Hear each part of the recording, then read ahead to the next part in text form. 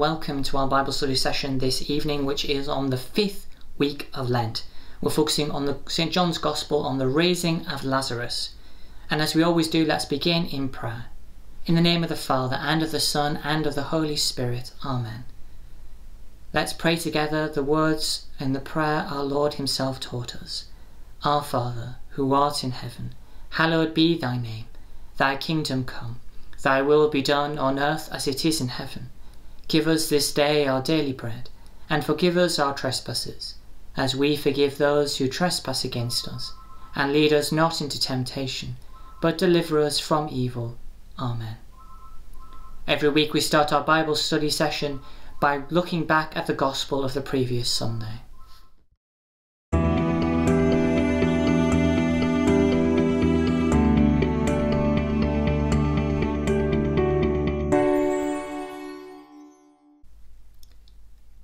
A reading from the Holy Gospel according to John. There was a man named Lazarus who lived in the village of Bethany with the two sisters Mary and Martha, and he was ill.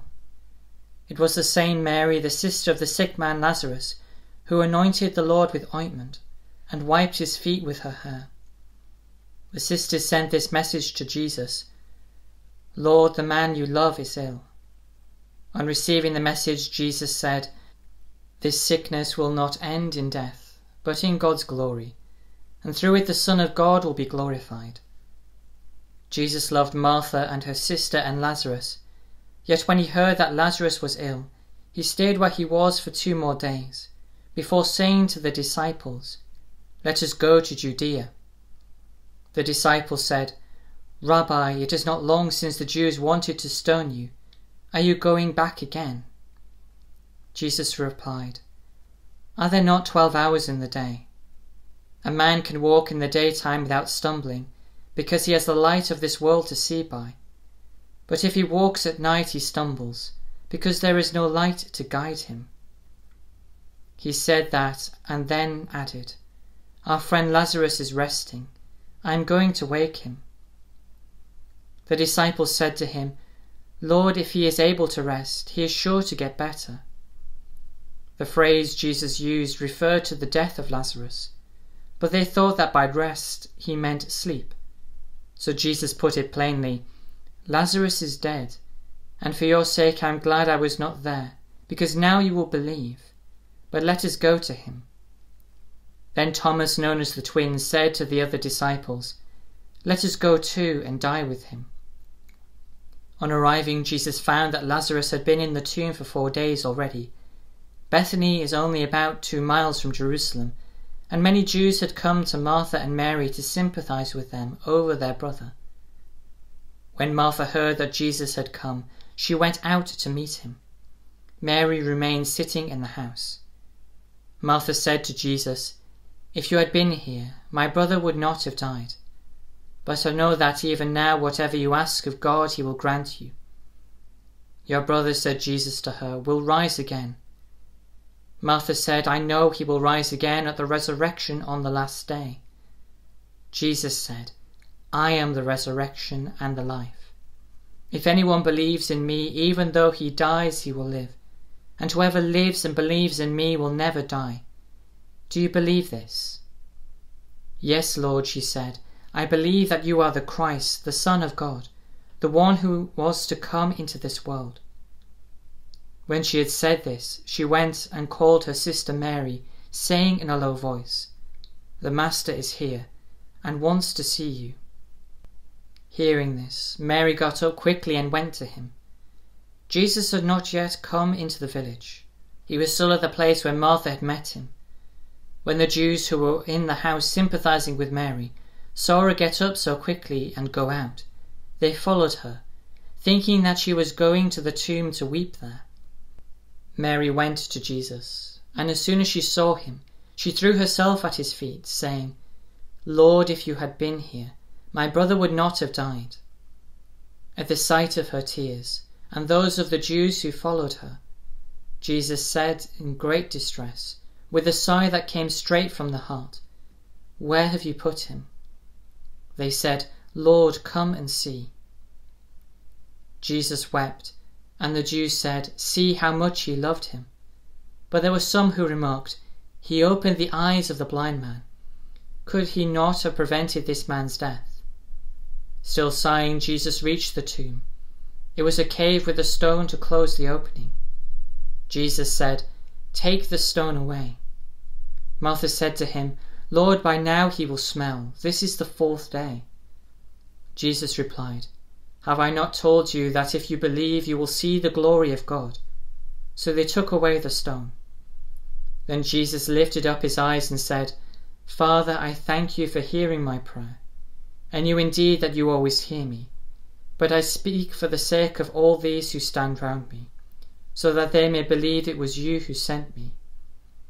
When he had said this, he cried in a loud voice, Lazarus, here, come out. The dead man came out, his feet and hands bound with bands of stuff, and a cloth round his face. Jesus said to them, Unbind him, let him go free.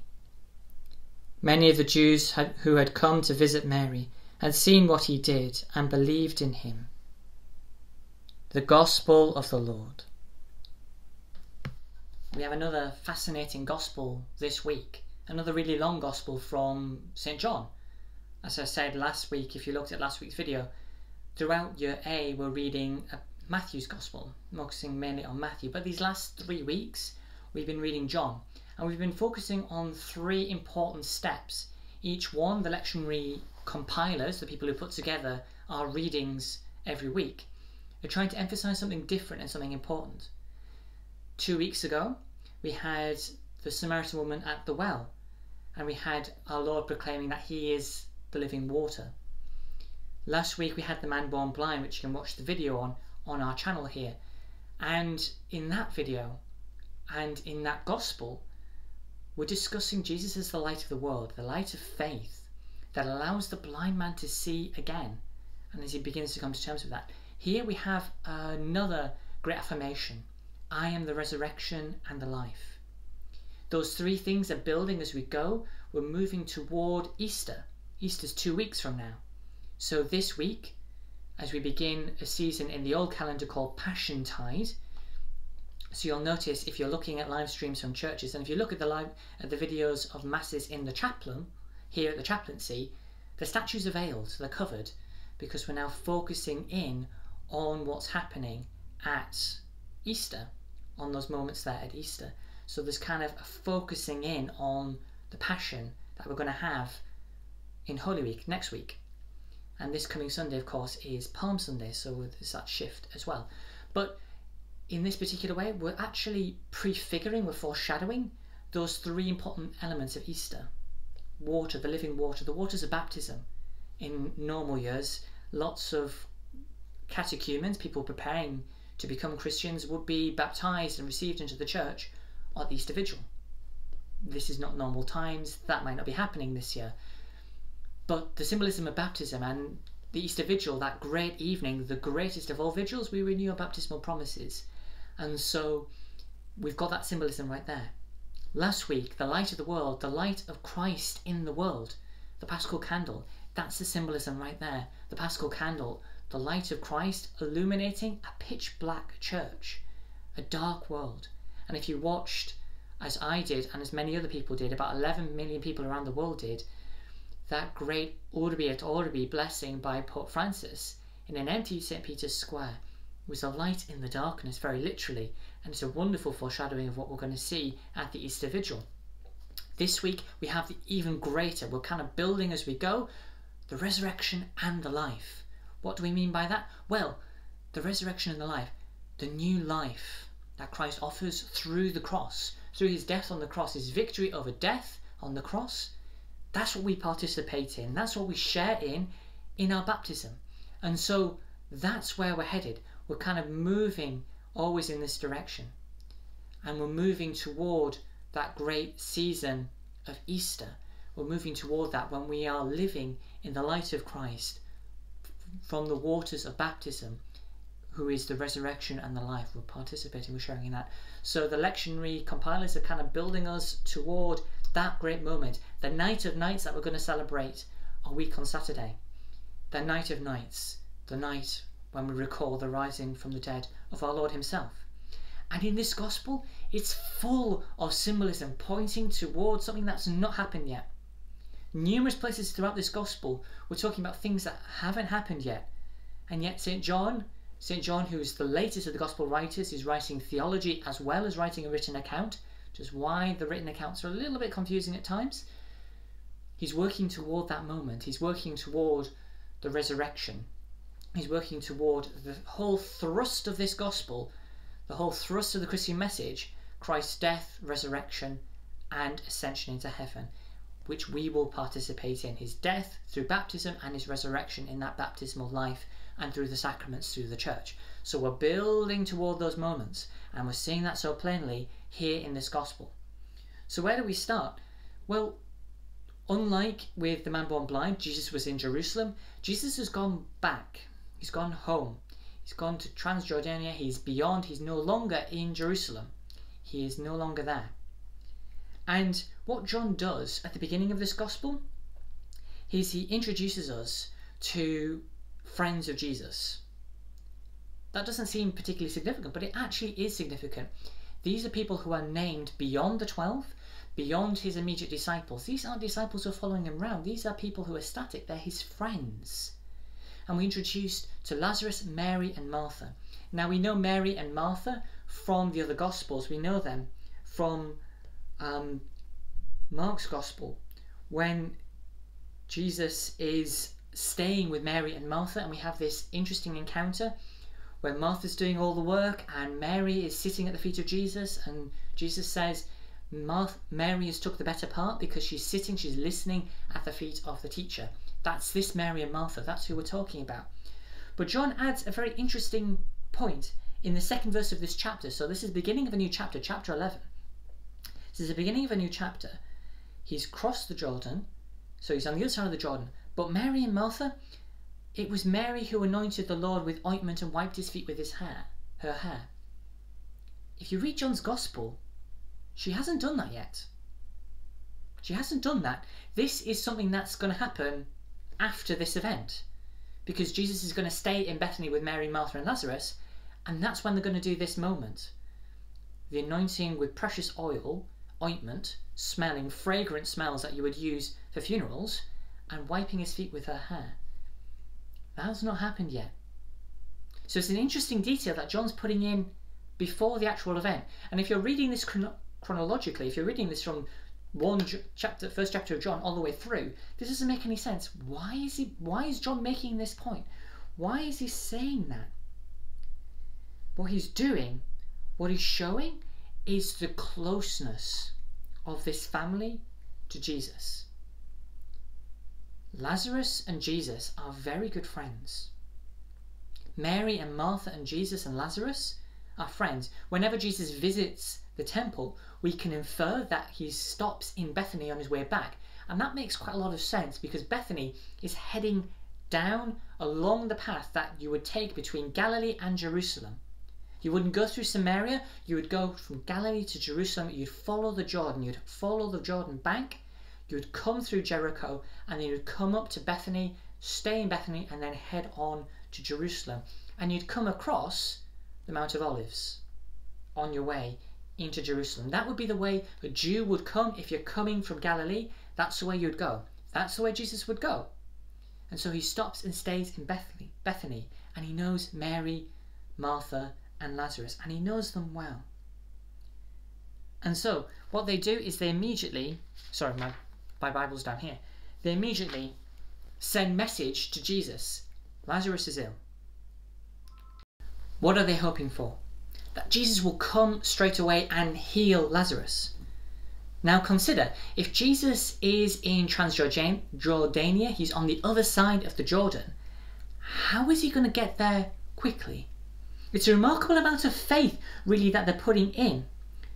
They're expecting Jesus to kind of rush to Lazarus' aid and raise him from this illness, to kind of heal him. But it's a long way.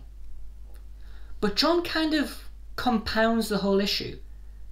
Consider, when they send this message, Jesus doesn't go straight away. In fact, John specifically says that he waits two more days.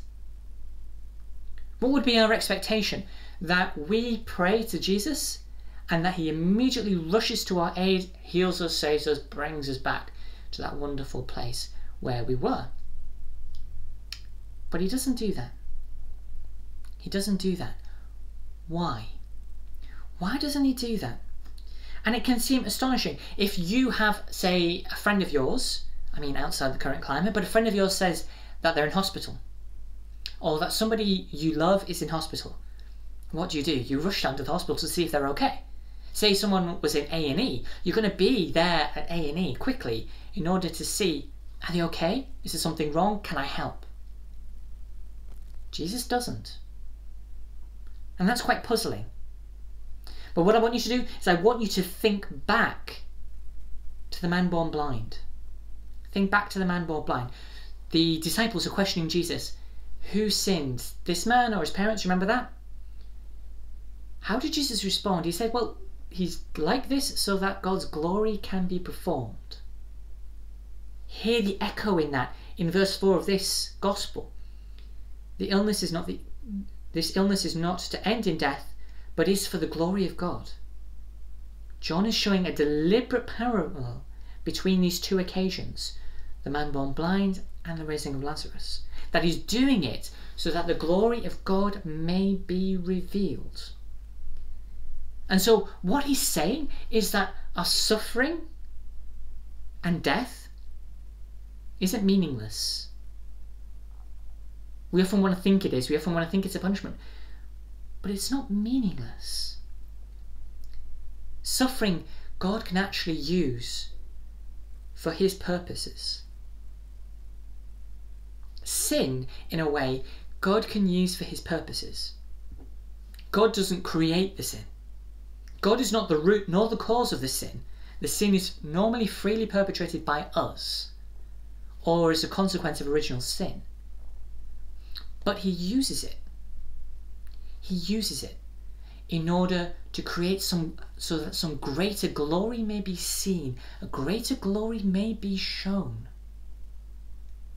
And so, when we see it through that way, we remember that God still has a plan. That plan's hidden from us, yeah, but He still has it. He still has it. And this, John's kind of hinting at, is showing that. Is showing that. So after two days, Jesus and the disciples are going to head off to Judea. Let's go back to Judea. Now consider, you're the disciples, you've seen, last time Jesus was in Jerusalem, do you remember? At the end of chapter 8, they were going to stone him, they were going to kill him. And curing the man born blind and the whole Pharisee debacle and this man is a sinner hasn't helped matters. They were going to kill him. Jesus' life is on the line. And if you're a disciple, if you're one of the apostles and you're seeing that, what? What do you mean? You're crazy. We should stay well away from there. These events are happening in reasonably rapid succession. There's not huge spans of time and not years between these events. Days, weeks, months at best. Why would he do that? Why would he go? So they're reminding him that the Jews wanted to stone you. And then Jesus answers with this really interesting um, explanation. He says, Well, you know there are 12 hours in the day.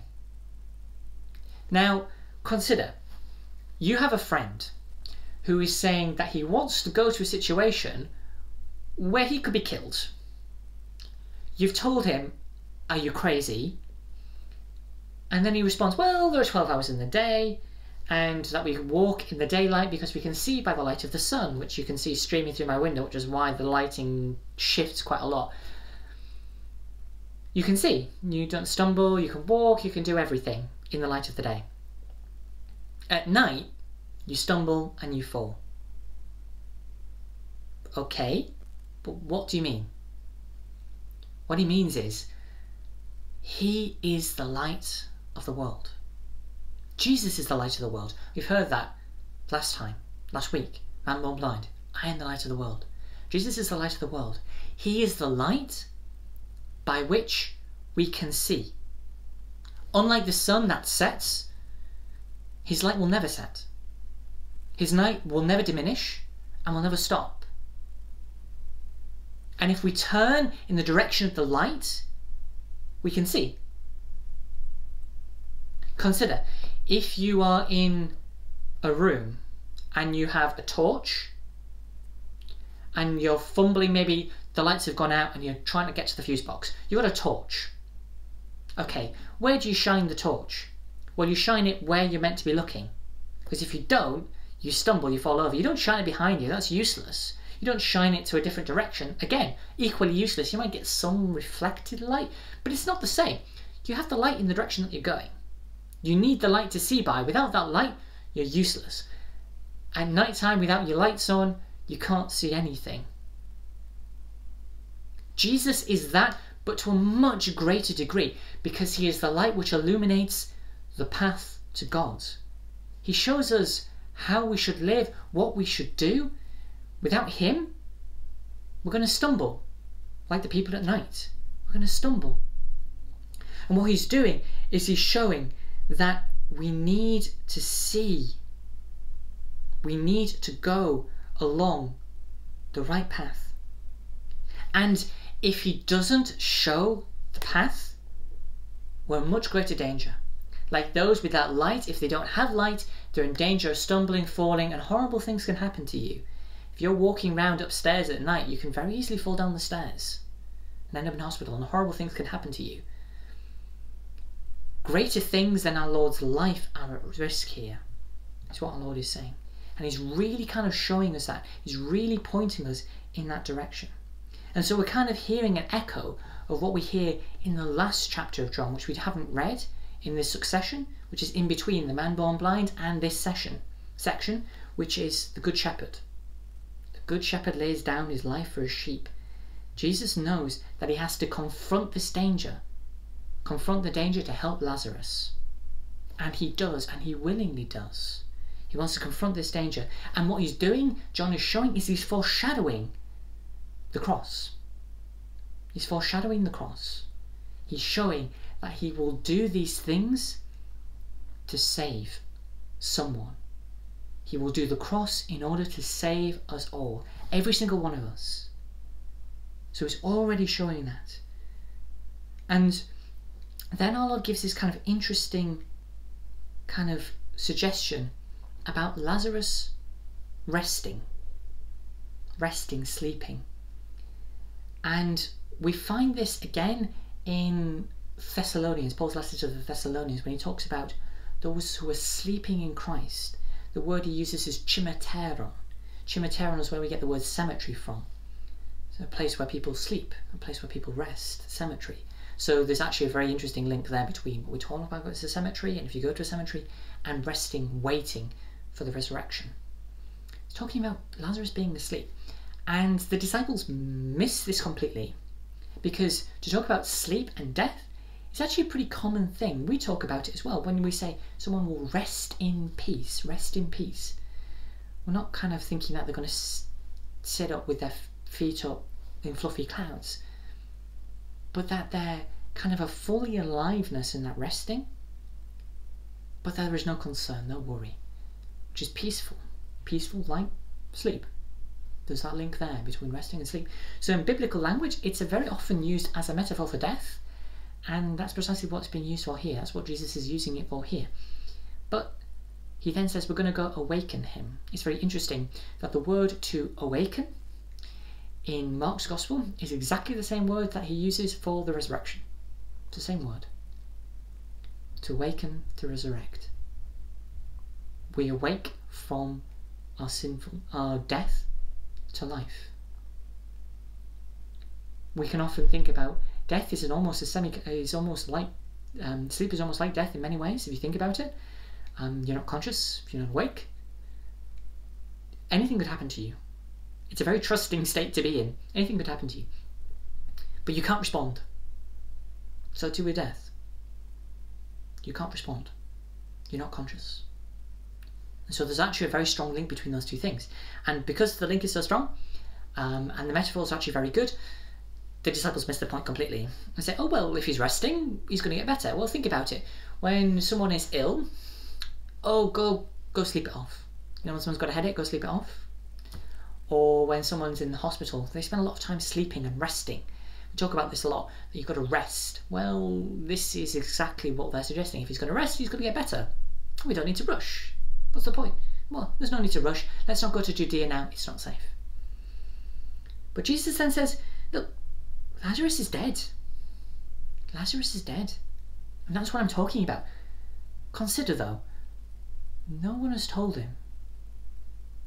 John doesn't record a messenger saying, Lazarus has died. He doesn't say that. How does he know? He knows because he is the incarnate Word of God. He is God Himself. He knows. He knows that Lazarus is dead because he knows what is required, what he's going to do to perform this greatest of the signs. This entire section in John's Gospel is called the Book of Signs. We often refer to it as the Book of Signs. And each one is kind of increasing and growing in magnitude. It starts with the wedding feast at Cana, water into wine. The sign, the miracle that everybody hopes that any priest can perform. I hate to inform you, we really can't. But the water and the wine, the first of the signs. This is the last of the signs, and it is the greatest. Arguable point if you like a good party, but it is the greatest of the signs. So, he is showing something, he is leading us to something. It is God incarnate, fully man, fully God, incarnational. John loves the incarnation. In the beginning was the Word, and the Word was made flesh and dwelt amongst us. John is a big proponent of expressing the theology around the incarnation, fully God, fully man. These debates would rage in the church for quite some time in the fourth century because of someone called Arius who was trying to deny the divinity of Jesus, which is why we get the creed, the creed that we say every Sunday. Bit of a side point, but important. These questions, the debates have been around in the church from the earliest days, and John, right at the very beginning, is saying, no, he is God and man, fully God, fully man. And so we're seeing his divinity coming out in this particular moment. And so, what we're saying, what the healing, this curing, this saving has to be done because Lazarus has died. The incarnate Word knows what he needs to do for his mission. But then he ends with this really weird phrase I'm glad for you I wasn't there. I'm glad for you I wasn't there. Think about it. Jesus is glad he wasn't there when his friend is dying or died? Very weird. Why is he glad? He's glad because the miracle, the sign is all the greater with the time. Because it's not just like it's a very serious illness that mimics death and then he'll get back up anyway, and that's what Jesus is doing isn't really something very miraculous. No, he's saying that because now it's greater. People don't die for four days and just get back up again. It's greater and it's a demonstrative, demonstrative, should I say, moment for the apostles. I'm glad for your sake that I'm not there. I'm glad for you that I was not there, so that you may believe. To see and believe. Wonderful theme in John. See about again last week. Wonderful theme from John. To see is to believe. Blessed are those who have not seen and yet believed is even greater. But to see who Jesus is and not believe, greatest of the sins. And so they're going to head back to the danger in Jerusalem, to Judea. Thomas, Thomas who gets a horrible rap in in this in these gospels, doubting Thomas, Thomas the twin, he is the one who says, Let us go and die with Jesus. Let us go and die together. Interesting how this thought doesn't stay with the disciples long. Consider when Jesus is arrested, they all run away except for the beloved disciple John. They all run away. It's Thomas who doubts the existence of the resurrected Jesus. Surely you're just seeing this image. But it's Thomas here who affirms, let's die together. Let's go together. It's a great moment of great courage that they're going to go through this, but that they want to follow the Master. Never forget, they want to follow the Master. The disciples throughout the Gospels, they want to follow Jesus. Same with us. We want to follow Jesus. It's our human weakness that lets us down. It's our human frailties, our fears, our worries, our concerns, particularly in this present moment, that let us down. Jesus is the way, the truth, and life, the path that we should follow. Be like Thomas. Be like Thomas.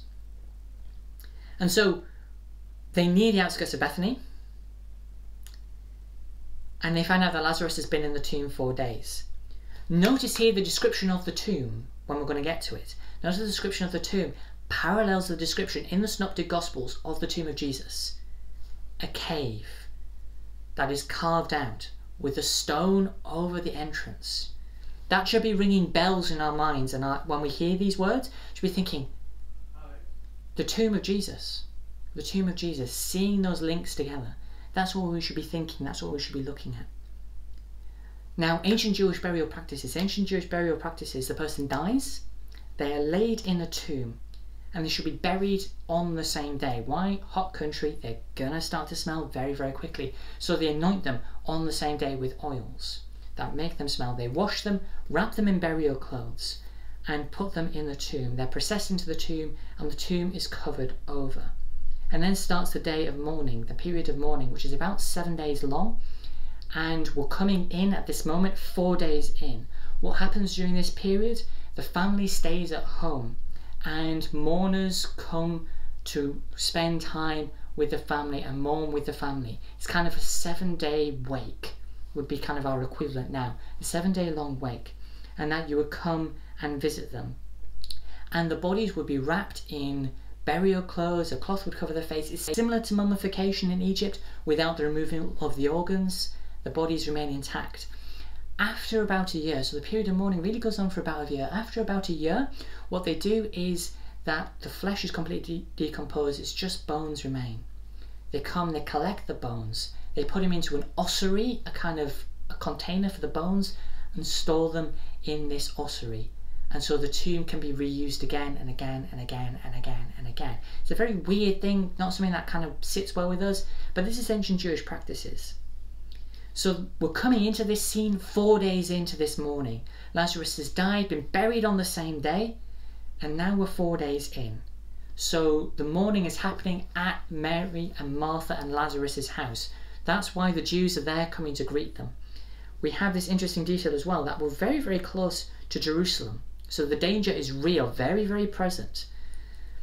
And so, another ancient tradition within the Jewish um, mindset which we should consider is the speculation that the spirit of the deceased left the burial area after three days.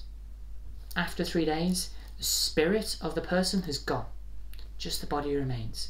So we're four days in even more significant than that. Also, notice here the parallels, at least partly, with the resurrection of our Lord, three days in the tomb.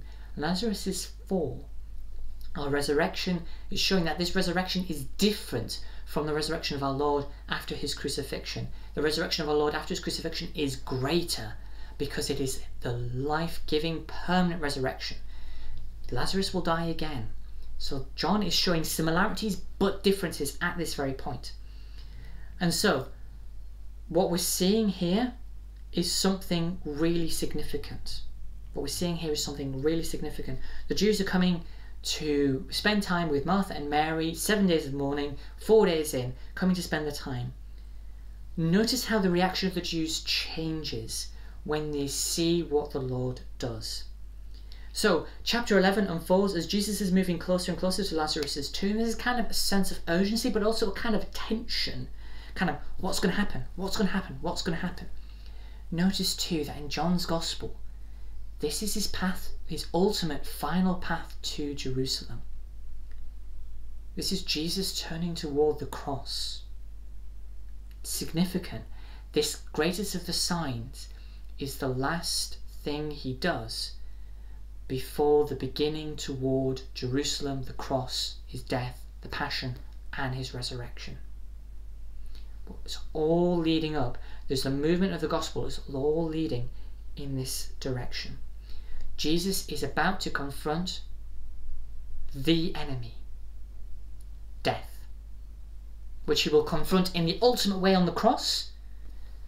This is the first battle with death and his first victory over death. And so we're moving toward that. We're slowly moving in that direction. Martha and Mary, notice here, when Jesus arrives in Bethany, he's on the outskirts of Bethany. Martha runs out to meet Jesus. Mary stays put. This should remind us of Luke's gospel. Martha and Mary at the Martha doing all the work, Mary staying at Jesus' feet. Mary stays put, Martha goes out and does the work. They're in the exact same way that we find in Luke 10, verses 38 to 42. Martha doing the work, Mary staying put. She runs out to meet Jesus. When she meets Jesus, we have this question, this, this kind of statement Lord, if you had been here. Lord, if you'd been here. She thought that she has a trust that Jesus can perform miracles and heal people. Lord, if you'd been here, this could have happened. My brother would not have died. Lazarus was sick when they sent the messengers out. That's what she was hoping for. But Lazarus has died. However, she has this kind of affirmation. There's still an affirmation in Jesus' power to heal. Even now, I know that whatever you ask of God, God will give you. There's still an affirmation of his power. Then Jesus gives this response Your brother will rise. Four days in, spirit already gone. Four days in in the mourning. What? He's dead. Doesn't happen. We don't see dead people walking down the streets. It's not like The Walking Dead. It's not a zombie. We don't see that. What do you mean? And this is where Jesus then responds to Martha with the fifth and perhaps greatest I am statement. The I am statements are very famous in John's Gospel. He uses the words in Greek ego eimi, which are the same words used in the Septuagint, the Greek version of the Old Testament, which God uses I am who I am, ego eimi. Jesus is using them as well. Great power in the words I am. I am. Great power in those words because they're the words of God. I am. And he uses this phrase I am the resurrection, and the life. Now, consider to the Jewish mindset the resurrection, there's a widely held belief, particularly with the Pharisees, not with the Sadducees. The Sadducees don't believe in the resurrection of the dead. That's why they're sad, you see. That's how you remember who they are. They are sad, you see. No resurrection. But the Pharisees do. And lots of Jews do believe. It's a kind of a divine justice sort of tradition that if your life sucks in this life, the Lord will raise you from the dead and life will be brilliant with God. So there is this belief. And that's what Martha expressed. Well, yeah, at the end of time, you will rise from the dead, of course. Jesus says, no, no, no, no, no. That this is happening now. And that He is the life, because in the waters of baptism, we have that new life. We are sharing in that. And so we're seeing a kind of an element of that. But notice as well, as with the formerly blind man, Jesus asks the question Do you believe? Do you believe? With the blind man, do you believe in the Son of Man? Here, do you believe this? Do you believe this? And Mary here gives a great affirmation of faith, just like Peter does at Caesarea Philippi. Yes, Lord, I have come to believe that you are the Messiah, the Son of God, the one who is coming into the world. That you are coming into the world. Yeah? And so we're seeing that moment happening that this is the Son of God, that this is all happening, and this is the title of God, Son of God. This is the title that's coming out here. And so, this is kind of what we see on the creed. I believe in the resurrection from the uh, resurrection of the body. We say that in the creed every time.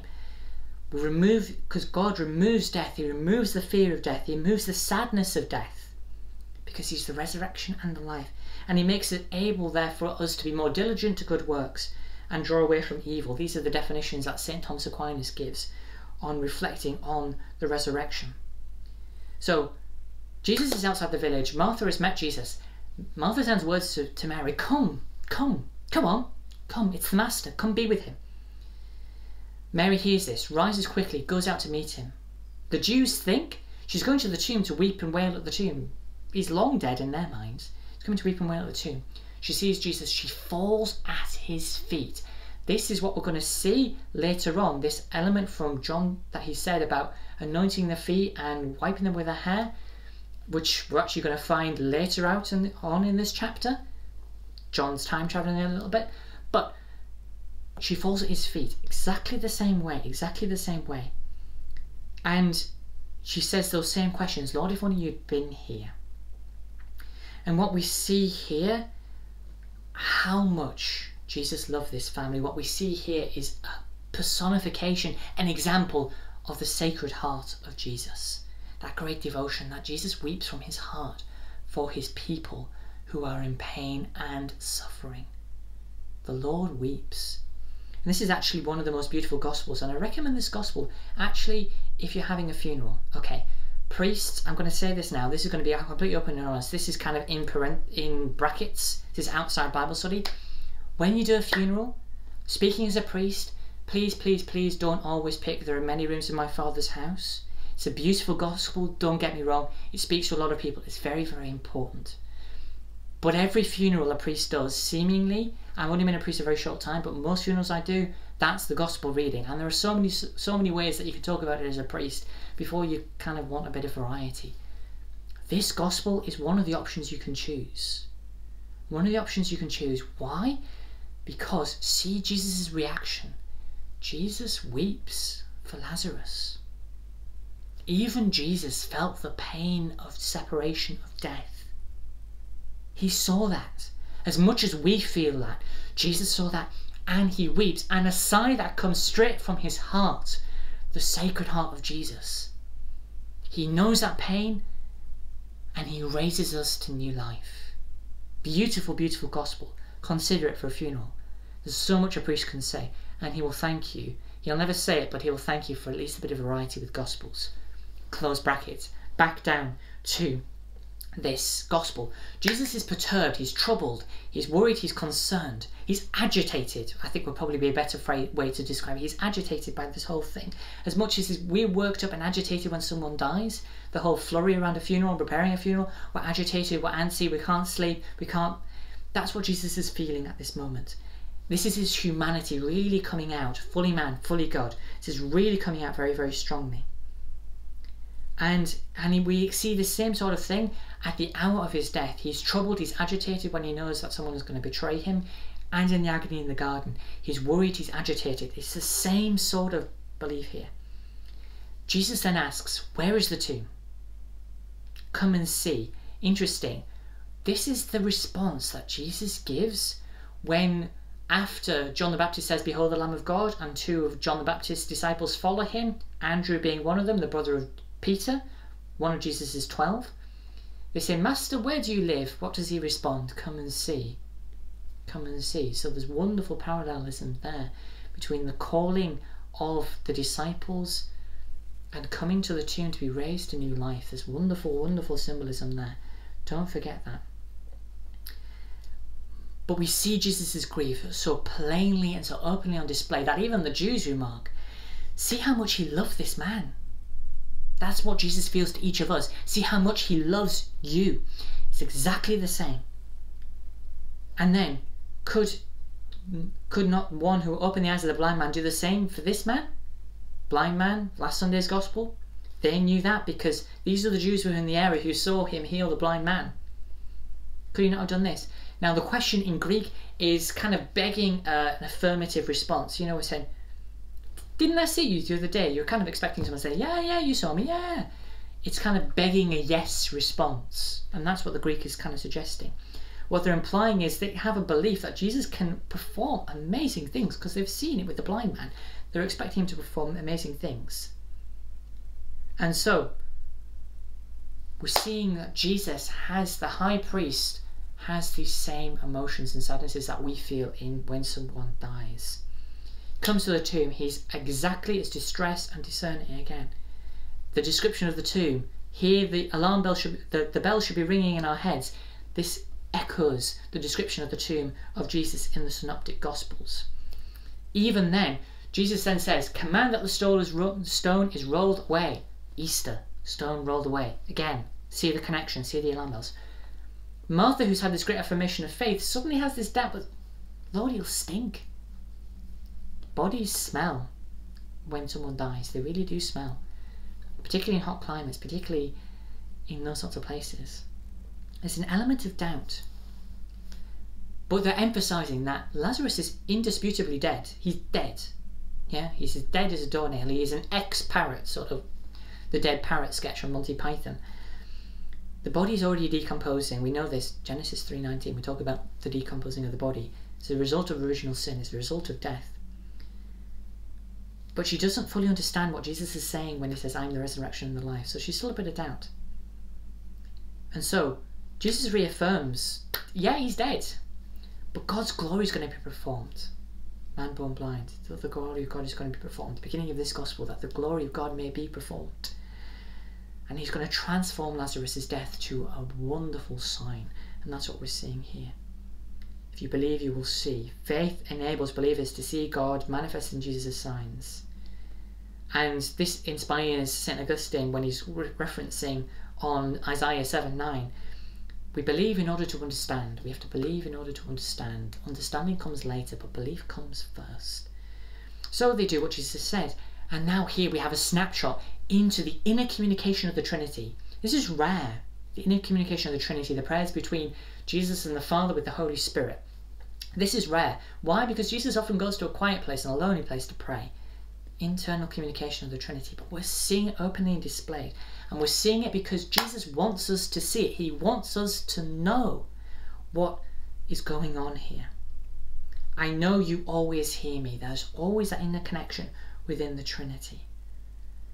And that by doing that, by doing this miracle, by doing this sign, you will reveal God's divine presence so that the crowd may believe that it is the Father who sent the Son so that we may have life and have it to the full. And Jesus then cries out loudly, Lazarus, come out!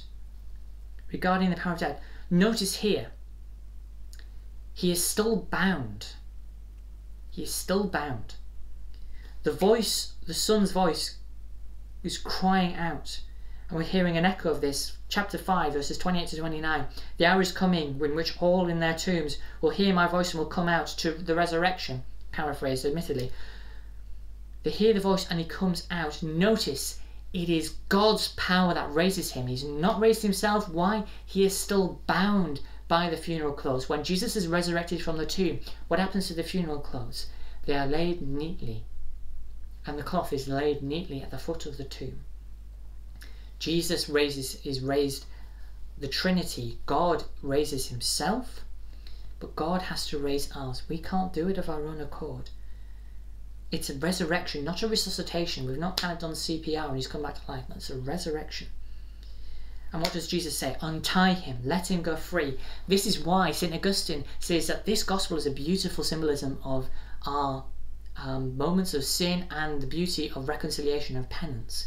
Because in the same way our sins are unbound, like the funeral cloths are unbound, and we come back to life. We were dead to sin, we are now alive to Christ after we've gone to confession admittedly very difficult in these present circumstances. But Jesus has raised Lazarus up. We are raised up in reconciliation. The beautiful symbolism there. And I think Augustine really does have a very beautiful, very important point. But notice, this resurrection is a foreshadowing of the resurrection of the Lord. There is no doubt in that. And John is deliberately showing that. This is the greatest of the signs, which is then shown in the greatest of the works, which is the resurrection on, from the dead, his death on the cross and his resurrection on Easter. Death, where is your victory? Death, where is your sting? But Lazarus will die again. When he raised the son of the widow of Nain in Luke's Gospel, he's going to die again. Jairus' daughter in Mark's Gospel, to die again. Those revived by God's power through the prophets Elijah and Elisha in the Old Testament in Kings 1 and 2, they're to die again. But what he's showing here is a foretaste, like the Transfiguration, it's a foretaste of what is to come. That it grows and increases with the beautiful culmination that is the true abiding resurrection that can only come after our Lord's death. St. Paul writes in Romans Christ raised from the dead dies no more, death no longer has power over him. That's its fullness, that's its beautiful fullness. And so the raising of Lazarus is the sign of Jesus' public ministry, and Jesus himself, it prompts different responses. Because many of the Jews who come with Mary and saw the sign believed in him, like they did with the blind man, saw and they believe. But not in this gospel, but what immediately happens after that. The Pharisees begin plotting the death of Jesus. Our Lord divides people. He divides people because the truth always does that. Consider the truth when we understand the truth and not your truth, my truth, nonsense, pull the other one, a load of tosh, ignore it. All this kind of um, relativistic truth, nonsense. It is nonsense of the highest order, and I cannot stress that enough. There is truth, and then there is opinion and belief of certain things, not true belief, but belief in certain things. Um, but there is opinion, and then there is truth. But the truth will always divide people because the truth confronts us with the reality of how things are. And we can very easily say, I don't want it to be that case, or I want it to be this case. And so the truth hurts us, and we run and we turn away from the truth. And we lie to ourselves because the truth confronts us with these lies that we tell ourselves. Jesus is the truth. And he's confronting the Pharisees with the lies that they've told themselves that they are the only ones who are connected with God. Jesus is showing that is not the truth. The truth is that God has been made flesh and he comes to meet us and encounter us. And he did in the most beautiful way in the Gospels. And we see that in the Gospels. But what he's showing is that the truth sets us free. Jesus himself tells us in John's Gospel, I am the way, the truth, and the life. The truth sets us free because we no longer live in a fantasy illusion based world, but we live in the light, not in the darkness. So, the truth of God confronts all these things and it makes us uncomfortable. It makes us uncomfortable. And the gospel, if the gospel doesn't make you uncomfortable at moments, you're not reading it right. If what the church teaches and preaches doesn't make you uncomfortable at moments, you're not understanding it right. Why? Because it challenges us to be better. It challenges us to be greater. And it's meant to be. Like a parent loves a child, they challenge them to be better. They don't stick with them in a very basic level. Consider when a child's learning to talk and they make all those kind of really adorable but silly little mistakes about he died and all these sorts of things, you know, when they kind of put things into the tenses wrong or they use wrong words or they pronounce things wrong. It's lovely, it's adorable, but eventually you correct them. You don't want them to be like that for, for the rest of their lives. God's like that with us. He doesn't want us to make these silly mistakes again and again and again. He wants us to be better and wants us to grow. How you do that is you've got to correct people. And it makes us feel uncomfortable. And nobody likes being corrected. Nobody likes being told when they've done something wrong. Who does? Who does like being when they're told something wrong? But that's the power of the truth. It, it's needed, it's necessary.